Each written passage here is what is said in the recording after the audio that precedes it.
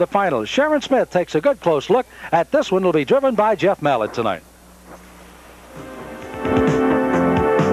Local hero Dragon's Lair came into the Breeders' Crown race with 10 wins and 2 seconds in 12 starts. He's campaigned primarily in Pennsylvania and has performed brilliantly at the Meadows. He's a first-crop son of Tyler B., a Pennsylvania stallion, and a special local favorite. He's the finest horse I've ever seen, let alone driven.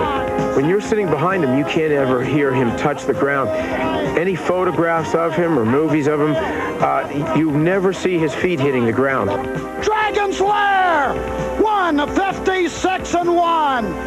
Driver Jeff Mallet picked Dragon's Lair out of a Harrisburg auction for 43000 which he considered a bargain for a handsome yearling, but even such a sum was hard to come up with.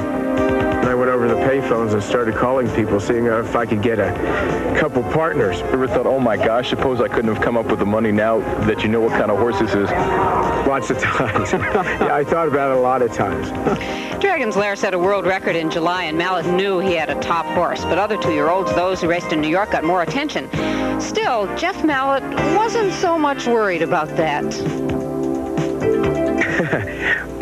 they've uh, they finished second and third to me a lot of times as New York people. I try not to think of that too much. I really don't care about opinions so much as making a lot of money. Well, Dragon's Lair has already earned back his purchase price and more, and in fact is worth many times what he cost as a yearling.